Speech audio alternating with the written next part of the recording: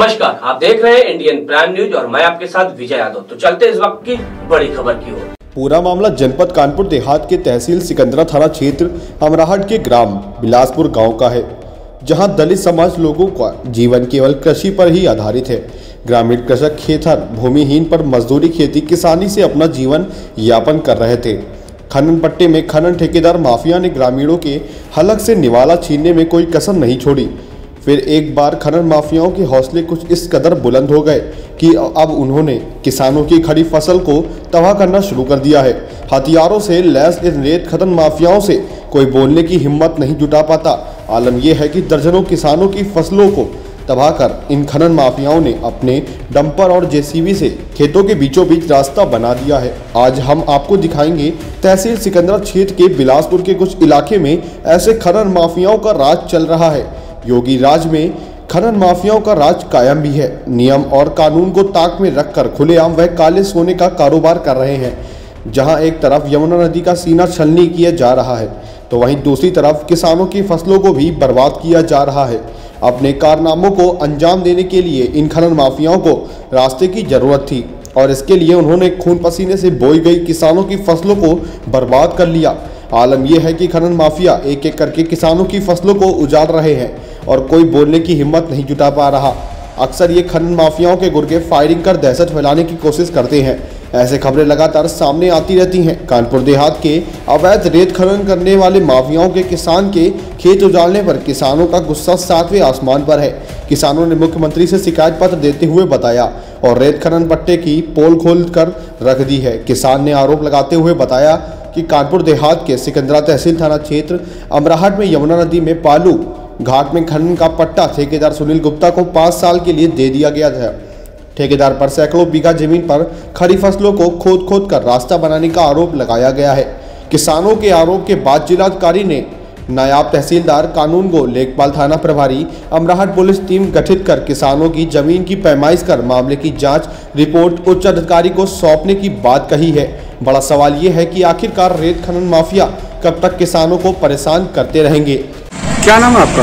लेकराम राजपूत। किस गाँव रहने वाले बिलासपुर बागर की तरफ़। तो बिलासपुर में जो खनन होने जा रहा है तो क्या है ये समस्या पूरी? समस्या का बिलासपुर में खनन होने जा रहा है इसे दबंगई तरह तौर से हो रहा है। किस तरह से आपको नुकसान पहुँचा रहे हैं? नुकसान तो इस तरह पहुँचा रहे खड़ी खड़ी फ़सल में जैसी भी मशीनें कोबलैंड मशीनें गाड़ियाँ घुसेड़ के फ़सल उजाड़ रही है। आप लोगों ने विरोध नहीं किया? हाँ विरोध विरोध करते हैं। प्रशासन ने कहा स्थानीय प्रशा- प्रशासन वहाँ से उनसे पैसे से मिल गया है बड़ी मोटी रकम दे करके तो वो लोग तो हम लोगों को कह रहे हैं, जेल भेज देंगे। ऐसे कितने किसान हैं जिनकी फ़सल बर्बाद कर दी है? कम से कम तीस चालीस किसान है। भूखो मरेगा। आधा गाँव में। आपने कहाँ कहाँ शिकायत की है? शिकायत हमने तो पहले पहले भी वहाँ मुख्यमंत्री जी को किया है प्रधानमंत्री जी को किया है और डी को किया है एसपी साहब को भी किया था। कि हम लोग? फ़सल उजाड़ रहे हैं और गलत तरीके से रास्ता बना रहे हैं? वहाँ से क्या आश्वासन मिला आपको? वहाँ से एप्लीकेशन दी थी।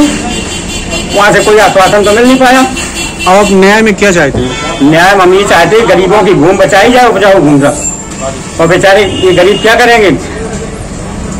और एक सिद्धनाथ मंदिर की रास्ता है उसको भी काट के बर्बाद कर रहे हैं हम। बहुत प्रमुख स्थान है घटापारा के नाम से प्रसिद्ध है। कानपुर देहात में। बहुत बड़ा मंदिर है। अभी डीएम साहब माननीय डीएम साहब जी आए थे। उन्होंने वहाँ पे अपना किया, बहुत बड़- बनवाने और इसके बाद गए थे। बड़ा सिद्ध स्थान है। और डीएम साहब की खैर बार बार प्रशंसा करते हैं। उन्होंने वहाँ के लिए रोड भी देने कहा है लेकिन ये लोग उसी रोड को काट रहे हैं उसी पुलिया को गिरा रहे हैं। क्या है आपका नाम? नरेंद्र सिंह। किस गाँव में रहने वाले हैं सर ग्राम बिलासपुर क्या समस्या है आपके गाँव सर हमारे यहाँ कुछ बिलासपुर गाँव का जो खनन होने वाला है वो काफ़ी दबंग लोग हैं और हम लोगों की किसानों की खड़ी फ़सल को उजाड़ते हुए कौन सी कौन सी घाट पे खनन होने जा रहा है? बिलासपुर बागर का। ये कब से चालू होगा ये सर चालू होने का कोई पता नहीं लेकिन आज जाके वहाँ प्रशासन प्लस कुछ दबंग ठेकेदार असला लेकर के हमारे खेतों से खड़ी फ़सल को उजाड़ते हुए जमुना की तरफ़ जा रहे हैं। काफ़ी फ़सलों को उन्होंने तोड़ फोड़ की है। अभी तक आपने उच्चाधिकारी से कहीं शिकायत की कोई? सर शिकायत की थी। तो सीओ साहब ने भी जेल भेजने की धमकी दी कि अवैध तरीके से तुम्हें मुकदमा लगा करके जेल भेज दिया जाएगा। आप राजस्व का नुकसान करने वाले हो। इसके अलावा और कहाँ शिकायत की आपने?